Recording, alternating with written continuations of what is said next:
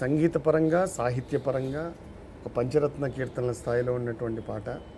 అందులో కూడా ఆ పంచరత్న కీర్తనలో ఉన్నటువంటి ఒక ప్రక్రియను కూడా సంగీతపరంగా మీరు స్వరము దానికి తగ్గ సాహిత్యము అలా అంటే మొదటి పల్లవి చరణం అవన్నీ కూడా మీరు రాసినట్టున్నా కూడా తర్వాత స్వరానికి మీరు సాహిత్యం రాశారు అని అర్థమవుతూ ఉంటుంది. ఆనతి నీయరా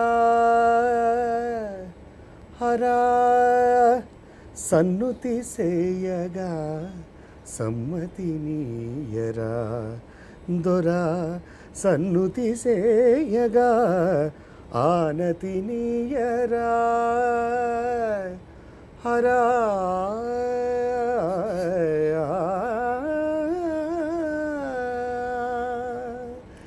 ఈ పాట పాడుకుంటే ఏడు నిమిషాలు వేరే లోకంలో ఉంటాం ముఖ్యంగా చరణంలో అసలు ఎంత గొప్పగా ఉంటుంది సాహిత్యం కూడా.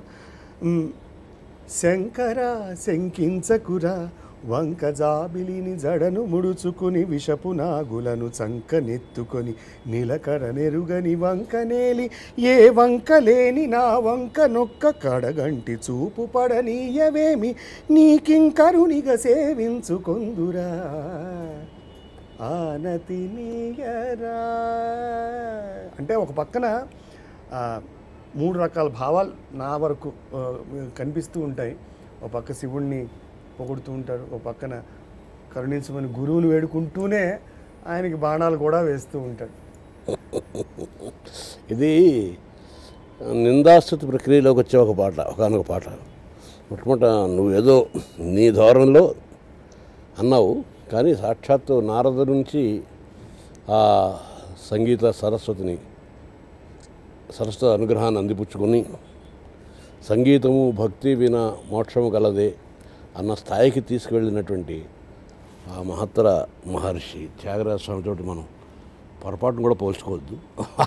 కాకపోతే స్వాతికిరణం అనే సినిమాకి రాసిన పాటల గురించి ఆ సినిమా కథ దాని తాలూకు ఆ పాటల తాలూకు నేపథ్యం కూడా మాట్లాడుకోవాల్సిన అవసరం ఉంది. ఎందుకంటే సాధారణంగా ఈ కార్యక్రమం పాట అనేది ఆ సినిమాకి ఆ సిచ్యుయేషన్కి ఎలా ఎలా రాశాను అన్నది ఇంపార్టెంట్ కాకుండా పాటల్లో ఉన్నటువంటి ఆ మాట ఆ భావము ఆ పదచిత్రము ఆ భావచిత్రము అవి నాకెలా సంబంధించే అని ప్రతి ఒక్కరూ అనుకునేలా చేయడానికి ఈ సంగీతపు సమ్మోహనత్వం నుంచి ఈ చిత్రీకరణ మోహినీతత్వం నుంచి అంటే ఇవన్నీ తొలగించేసి సాహిత్యాన్ని చదువుకోమని నాకు అర్థం అర్థం కాదు. ఇందాక నేను చెప్పాను కన్నారా చూస్తూ చెవులారా వింటూ కథారా భరించాలి అని.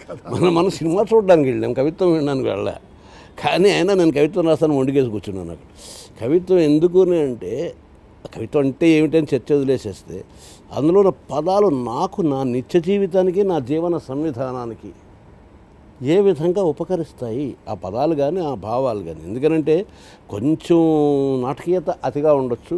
లేకపోతే మనం దాన్ని ఏంటంటాం సినిమాటిక్ లైసెన్స్ అంటాం. ఇట్లా మనం తీసుకోవచ్చు కానీ మౌలికమైనటువంటి విషయాలన్నీ కూడా సమాజంలోంచి జీవితంలోంచి బతుకులోంచి తీసుకుంటాం ఆ తీసుకున్నప్పుడు ఆ విషయాన్ని మనం ఎట్లా చూడగలిగాం? ఆ జీవితానికి వాళ్ళు వాళ్ళు తీసుకున్నటువంటి ఒక సే ఒక పర్టికులర్ సిచ్యుయేషన్ చెబుతాం. పర్టికులర్ సిచ్యుయేషన్ అంటే చిలక ఏతుడు రాక ఆ పాటకు ఎవరు రావడమే కాకుండా ప్రజలందరూ పాడుకున్నారు. అసలు అదొక పర్టికులర్ సిచ్యుయేషన్ కదా. ఏ ప్రపంచంలో ఉన్న ప్రతి అమ్మాయి కూడా ఇంకో అమ్మాయితో నా మొగుడిని అమ్మేస్తాను అంతిస్తామని అడగదు కదా.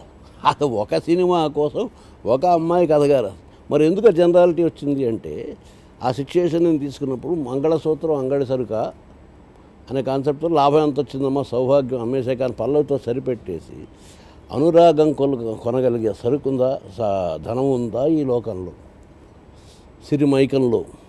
కురిసే కాసుల జడిలో తడిసి నిరుపేదైనవే. ఈ భావాలన్నీ కూడా మనకి సంబంధించిన భావాలు.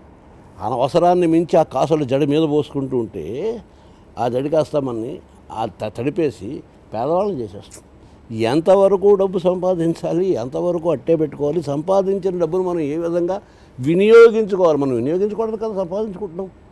సంపాదించడం సంపాదించట్లేదు కదా.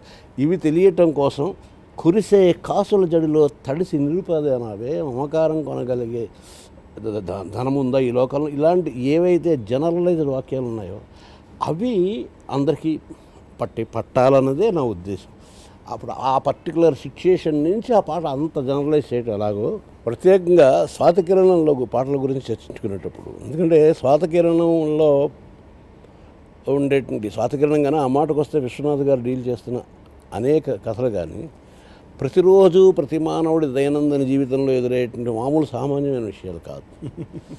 సో ఒక రకంగా ఆకలి దానికి సంబంధించిన అన్నం దానికి సంబంధించిన కూరలు అవి కాకుండా అవన్నీ తినేసిన తర్వాత తూగుటియ్యల మీద ఊగుతూ తమలప ఆ కర తాంబూల సేవనం చేస్తూ ఊహాలోకాల్లో విహరించే కవి కవి కవి కవి ప్రపంచం వేరు జనరల్ ప్రపంచం వేరు.